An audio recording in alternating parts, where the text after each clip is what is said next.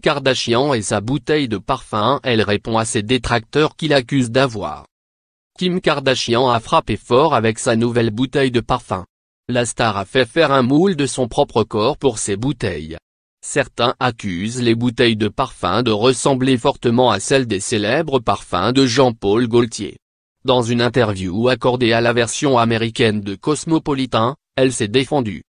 La star explique, J'adore cette bouteille, elle est iconique, elle célèbre le corps de la femme, mais mon inspiration était une statue antique.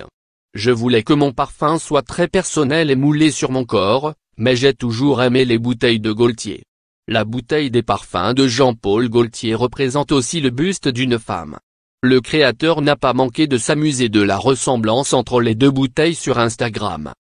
Keeping up with fragrance news dièse classique dièse Jean-Paul Gaultier.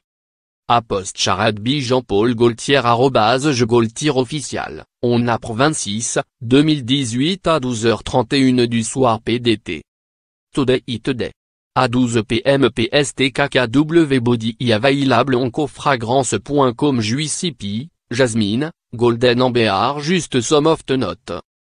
Apost charadbi Kim Kardashian vest Kim Kardashian, on app 30, 2018 à 7h43 du matin PDT. Work in progress cofragrance en. Apost charadbi Kim Kardashian vest Kim Kardashian, on app 25, 2018 à 9h18 du matin PDT. Kim Kardashian n'hésite plus à afficher ses belles courbes sur les réseaux sociaux, au risque de choquer ses fans. Dans une interview accordée à eux. News, elle revenait sur le parfum et confiait, avant tout, c'est un parfum aux notes très sexy.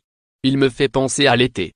Il m'évoque une certaine sexiness, je ne comprends pas pourquoi les gens sont choqués quand je fais un shooting dénudé. J'en fais tellement. J'ai fait un autre shooting. C'était dans la même galerie d'articles au final, j'ai préféré les photos les plus dénudées. Je me suis dit que c'était la meilleure occasion. Si je dois le faire, c'est maintenant, c'est le bon produit. C'est le parfum pour.